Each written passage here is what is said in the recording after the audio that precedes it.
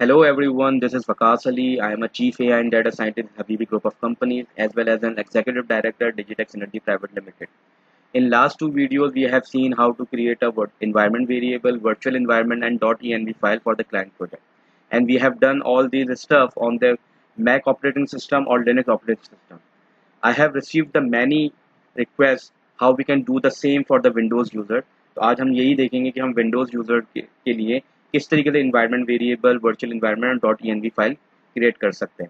मैं side by side आपको Mac OS और लिनक्स ऑपरेटिंग सिस्टम की कमांड भी शो करवाऊँगा ताकि आपको रिकैप होता रहे और क्विकली वॉक थ्रू करेंगे कि हम विंडोज़ के लिए किस तरीके से environment variable virtual environment and dot E file create कर सकते हैं।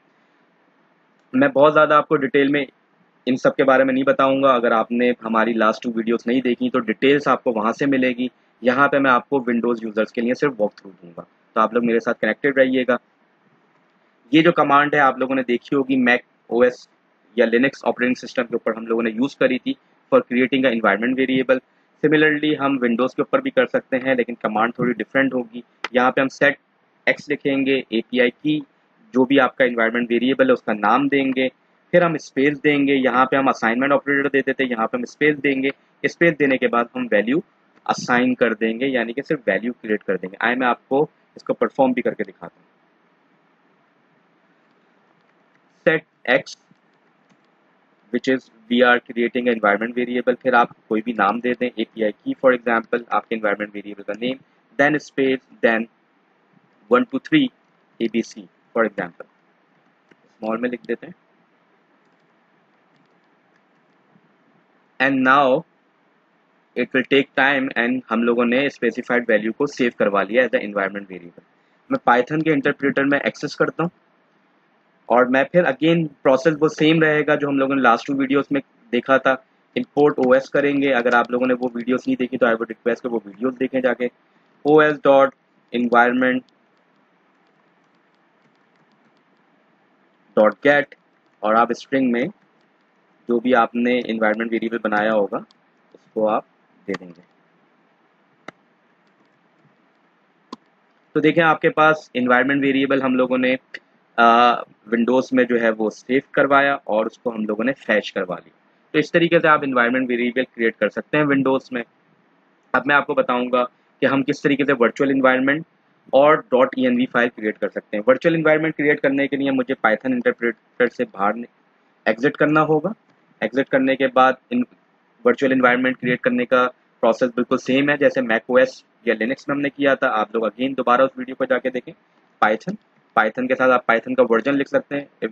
अगर नहीं लिखना चाहते तो आप डायरेक्ट डॉट एम लिखें और वी एन वी और आप न्यू प्रोजेक्ट लिख दें।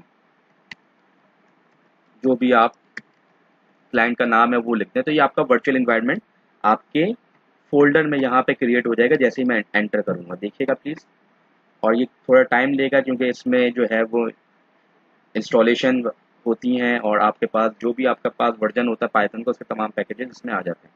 तो अगर आप देखेंगे इधर तो ये न्यू प्रोजेक्ट जो है ये यहाँ पे as a virtual environment create हो गया है।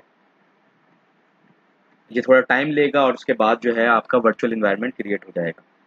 ये तमाम जो कमांड्स हैं आपकी, मैं यहाँ पे आपको दिखा भी देता हूँ कि ये मैंने आपको कमांड दिखाई थी इन्वायरमेंट वेरिएबल क्रिएट करने की सिमिलैरिटीज़ या डिफरेंस आप यहाँ पे देख सकते हैं। इन्वायरमेंट वर्चुअल इन्वायरमेंट क्रिएट करने के लिए आपको सेम कमांड देनी पड़ेगी मैक ओ एस लिनक्स और विंडोज़ के लिए। एक्टिवेशन में डिफरेंस है।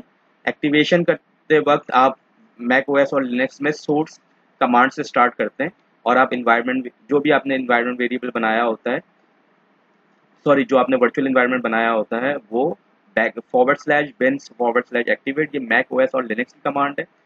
अगर आपने विंडोज़ पे करना है तो विंडोज़ में आपका सोर्स से स्टार्ट नहीं होता, बल्कि डायरेक्ट आपका वर्चुअल इन्वायरमेंट से स्टार्ट होता है। इधर आप फॉरवर्ड स्लैश देते विंडोज़ में आप बैक स्लैश देंगे। फिर उसके बाद आप बिन लिखते थे, यहाँ पे आप स्क्रिप्ट लिखेंगे और फिर बैक स्लैश देके एक्टिवेट लिखेंगे। आए हम देखते हैं, हमारा इन्वायरमेंट जो है वो क्रिएट हो गया है। हम अपने इन्वायरमेंट को जो है एक्टिवेट करते हैं। मैंने आपको बताया था डिफरेंस क्या है। आप पहले अपने इन्वायरमेंट का नेम लिखेंगे बैक स्लैश स्क्रिप्ट लिखेंगे और स्क्रिप्ट लिखने के बाद आप एक्टिवेट करेंगे। तो this is the little bit difference in environment activation in Windows as and on the Mac O S और लिनक्स सिस्टम तो आप देखेंगे आपके न्यू प्रोजेक्ट का जो है वर्चुअल इन्वायरमेंट जो है वो अपडेट हो गया। आप यहाँ पे चाहें तो एक नया फोल्डर बना सकते हैं। मैंने आपको लास्ट वीडियो में बताया था फोल्डर बनाने का तरीका। फॉर एग्ज़ाम्पल आप यहाँ पे लिख देते हैं क्लाइंट प्रोजेक्ट तो आप यहाँ पे देखेंगे कि आपका एक नया फोल्डर जो है वर्चुअल इन्वायरमेंट में क्रिएट हो जाएगा। मैं यहाँ पे भी आपको दिखा देता हूँ। यहाँ पे देखिएगा आपके न्यू प्रोजेक्ट के अंदर। क्लाइंट प्रोजेक्ट के नाम से कोई भी फोल्डर अवेलेबल नहीं है। जैसे ही मैं डायरेक्टरी बनाऊँगा डायरेक्टरी का मतलब ये है कि मैं फोल्डर क्रिएट कर रहा हूँ। तो ये आपका क्लाइंट प्रोजेक्ट यहाँ पे एक फोल्डर क्रिएट हो जाएगा। यहाँ पे रिफ्रेश करके रिफ्रेश करके देख लेते हैं कि हमारे पास यहाँ पे क्या है। अगर मैं डी आई आर लिखूँगा तो मुझे बता देगा कि मेरे पास एक क्लाइंट प्रोजेक्ट के नाम से एक फोल्डर मौजूद है। मैं इसमें शिफ्ट कर जाऊँगा। शिफ्ट करने का तरीका ये मैंने आपको लास्ट फ़ाइल वीडियोज़ में भी बताया था। आप देखेंगे चेंज डायरेक्टरी और फोल्डर का नेम फोल्डर बोलते हैं और टेक्निकली हम इसको डायरेक्टली बोलते हैं। क्लाइंट प्रोजेक्ट तो मैं इसमें स्विच कर गया हूँ।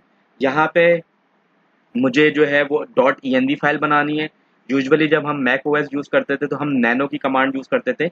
यहाँ पे विंडोज़ में नैनो की कमांड एक्सेप्टेबल नहीं है तो हम यहाँ पे लिखेंगे नोट पैड और फिर हम डॉट ई करेंगे तो वो हमें एक फ़ाइल ओपन करके दे देगा। ये देखिएगा, इसने हमें फ़ाइल ओपन करके दे दी है। मैं यहाँ पे लिखूँगा ई e और यहाँ पे आप कोई भी अपनी एपीआई की को सेव करवा लें। हम डॉट ई फ़ाइल क्यों क्रिएट करते हैं?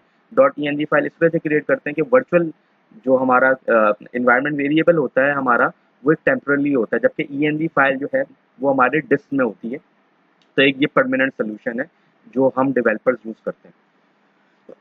तो यहाँ पे आप कोई भी अपना वेरिएबल दे दें इन्वायरमेंट वेरिएबल फॉर एग्जांपल मैं यहाँ पे लिख देता हूँ न्यू या मैं यहाँ पे लिख देता हूँ सीक्रेट की और कोई भी वैल्यू डाल देता हूँ for example W A Q S small में लिखते हैं W A Q S one two three four five तो ये मैंने सेव करवा के इधर कर लिया है। यहाँ पे अगर मैं जुपिटर नोटबुक को लॉन्च कर लूँ, अपने वर्चुअल इन्वायरमेंट में तो जुपिटर नोटबुक को लॉन्च करते हैं और जुपिटर नोट नोटबुक के अंदर फिर हम ई e फ़ाइल को कॉल करवाएँगे और उसकी वैल्यू को हम जो है वो कॉल करेंगे। तो हमारी जुपिटर नोटबुक जो है वो लॉन्च हो रही है। ये हमारी जुपिटर नोटबुक लॉन्च हो गई है। हमारे न्यू वर्चुअल इन्वायरमेंट में इधर मैं नई फ़ाइल क्रिएट करूँगा। और प्रोसेस सारा वही होगा जब हम लोगों ने लास्ट जो हमारे मैक ओएस के ऊपर हम लोगों ने कमांड लिखी थी वर्चुअल इन्वायरमेंट पे, वही मैं यहाँ पे लिखूँगा। फॉर एग्जांपल मैं लिखूँगा इंपोर्ट ओएस और मैंने एक और भी आपको बताया था dot E N V import load under dot E अब प्रोसेस बिल्कुल सेम रहेगा हमारा। ये मैं इसको रन करवाऊँगा। लोड डॉट ई को मैं यहाँ पे कॉल कर लूँगा। अगर आपकी ई फ़ाइल सेम फोल्डर में तो आपको पाथ देने की ज़रूरत नहीं है बट अदरवाइज़ आप यहाँ पे पाथ दे सकते हैं। आपको मैं अगेन कहूँगा कि अगर आपने लास्ट वीडियो नहीं देखी तो आप उसको जाके फॉलो करें। तो आपको ये तमाम डिटेल्स डीपली अंडरस्टैंड हो जाएँगी। यहाँ पे मैं सिर्फ़ आपको विंडोज़ पे वॉक थ्रू दे रहा हूँ। अब मैं O S dot E N environment dot get और मैंने वहाँ पे जो की दी थी, वो दी थी सीक्रेट की।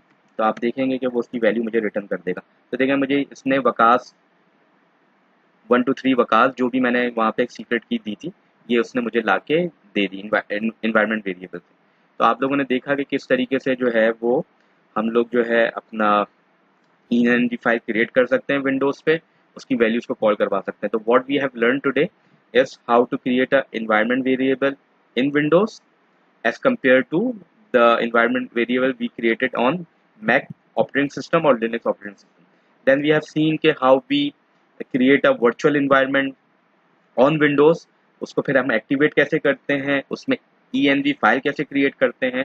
और जब अगर वी फ़ाइल जब हम लोगों ने क्रिएट कर दी, उसमें अगर हम लोगों ने कोई सीक्रेट की है तो उसको, उसकी वैल्यू को हम कैसे कॉल कर सकते हैं? तो ये प्रोसेस जो हमने मैक ओएस और लिनक्स ऑपरेटिंग सिस्टम पे देखा था, आज हमने इसको विंडोज़ पे देखा है। तो hope you understand the difference और अगर आपकी कोई भी क्यूरी होगी तो वो आप मुझसे कमेंट्स में डिस्कस करके अपनी क्यूरी को रिजॉल्व करवा सकते हैं। तो I will wait for your comment इनशाला see you soon in the next video take care bye